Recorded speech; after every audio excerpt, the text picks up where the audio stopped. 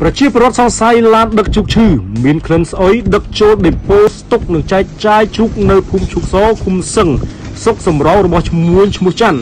ដើម្បីចែកចាយក្នុងប្រទេសនិងក្នុងភូមិរបស់ពួកគាត់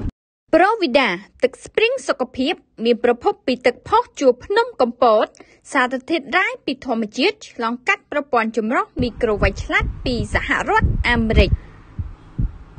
កាលពីព្រឹកថ្ងៃទី16ខែសីហាឆ្នាំ2020នេះប្រជាពលរដ្ឋរស់នៅភូមិក្រាំងអូតស្ថិតនៅតាមផ្លូវកស៊ូកាត់ទទឹងពីថ្នល់ទទឹងនៃផ្លូវជាតិលេខ2ទៅកាន់ភូមិប៉ាំងកសីនៃផ្លូវជាតិលេខ3បានឃើញឡានដឹកជ្រូកចំនួន2គ្រឿងផ្ទុកជ្រូកដែលចេះក្លិនស្អុយអាសោចពីក្នុងឡានទាំងពីរគ្រឿងនោះមកលើអ្នកដំណើរតាមផ្លូវដែលធ្វើដំណើរក្បែរឡាននោះ មានក្លិនមិនស្រួលធ្វើឲ្យពួកគាត់ធ្វើដំណើរចង់ធ្លាក់អួតទើបពួកគាត់ផ្ដល់ព័ត៌មានមកអង្គភាពយើងខ្ញុំតែសង្ស័យថាឡានទាំងពីរនោះអាចដឹកជោគឈឺយកមកលក់ចែកចាយក្នុងស្រុកបានជាស្អុយរលួយខ្លាំងបែបនេះប្រភពព័ត៌មានពីប្រជាជនម្នាក់រស់នៅភូមិក្រាំងអូតឃុំសំរោងស្រុកសំរោងខេត្តតាកែវ បានឲ្យដឹងថាអ្នកបើកឡានជ្រូកគណៈឈប់បន្តិចនៅភូមិរបស់ពួកគាត់ផ្ទាល់ឲ្យដឹងថាឡានទាំងពីរកំពុងដឹកជ្រូកដែលស្អុយមិនហ៊ានដើរក្បែរនោះ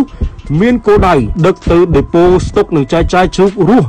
មួយកន្លែងនៅភូមិឈុកសឃុំសឹងស្រុកសំរោងខេត្តតាកែវស្ថិតនៅតាមបណ្ដោយផ្លូវជាតិលេខ2ដែលល្បីថាជាដេប៉ូសម្បូរជ្រូកស្អុយនិងស្តុកជ្រូកបែបអនាធិបតេយ្យអត់ច្បាប់ដែលបានរកស៊ីបានរលូនយូរឆ្នាំណាស់មកហើយគាត់បានបន្តថាដេប៉ូនេះមានដាក់ស្លាកយីហោអីនោះទេហើយតែតែដឹកជ្រូករបៀបលាក់លៀមលាក់លៀមបំផុតម្ដងដឹកតាមផ្លូវនេះម្ដងដឹកតាមផ្លូវនោះដើម្បីកិច្ចពីអ្វីមួយ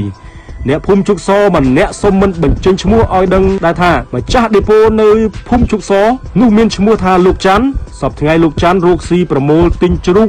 ពីតាមកសិដ្ឋានចិញ្ចឹមជ្រូកនាំចូលជ្រូកពីប្រទេសជិតខាងប្រភពបានបន្តទៀតថាគាត់ដឹកសឹងតែរាល់ថ្ងៃគាត់ដឹកចូលដេប៉ូនៅភូមិឈុកសនេះមិនដែលខកខាននោះទេជូនដឹកពីថៃតាមច្រកឡែមជួនដឹកពីច្រកដូង7ដើមហើយបន្ទាប់មកគាត់ដឹកមកស្តុកនៅឈុកស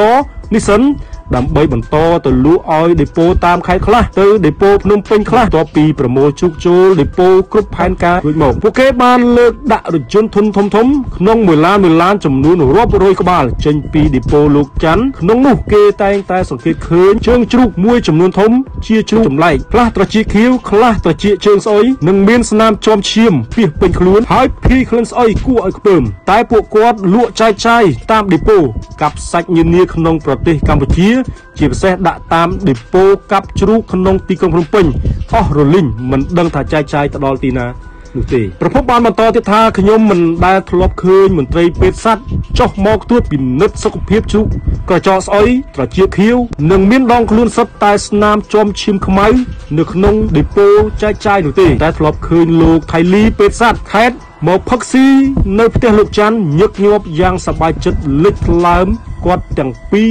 មានអរិយាបថដូចជាបងប្អូនបង្កើតចិត្តក្នុងពេលផឹកស៊ីនិងតាមរយៈការបញ្ចេញវោហាសាសរបស់ពួកគេក្នុងពេលផឹកស៊ីស្រវឹងអាចដឹងថា ការរកស៊ីបើកដេប៉ូអត់ច្បាប់ហើយដឹងជ្រូកយ៉ាងច្រើន ដែលមានជំងឺមកចែកចាយលក់ពាក់ព័ន្ធទៅនឹងពេទ្យសត្វខេត្ត និងមន្ត្រីក្នុងខេត្តបើកដៃឲ្យរកស៊ីហើយមកទៅសង្ស័យតែទទួលបានម៉ាស់បិទភ្នែកធ្វើឲ្យមើលមិនឃើញពីលោកច័ន្ទដើម្បីជួយកាងបិទព័ត៌មាននេះប្រជាពលរដ្ឋសំណូមពរឲ្យគណៈអភិបាលនៃគណៈអភិបាលខេត្តតាកែវ អ្នកដែលពាក់ព័ន្ធជាប្រសេះអភិបាលខេត្តតាកែវលោកអ៊ុចភានិងរដ្ឋមន្ត្រីលោកវេសុខុនរដ្ឋមន្ត្រីក្រសួងកសិកម្មនិងអភិបាលស្រុកសំរោងលោកកេតម៉ៅសូមលោកមេត្តាជួយពិនិត្យមើលទីតាំងនេះឡើងវិញព្រោះមានខ្នងបង្អែកច្រើនណាស់ដែលការពារពាក់ព័ន្ធបិទបាំងមិនឲ្យដឹងព័ត៌មាននេះ ប្រូវីដាទឹកស្ព្រីងសុខភាព មានប្រភពពីទឹកផុសជួរភ្នំកំពត សារធាតុរ៉ែពីធម្មជាតិឆ្លងកាត់ប្រព័ន្ធចម្រោះមីក្រូវ៉ាច់ឆ្លាតពីសហរដ្ឋអាមេរិក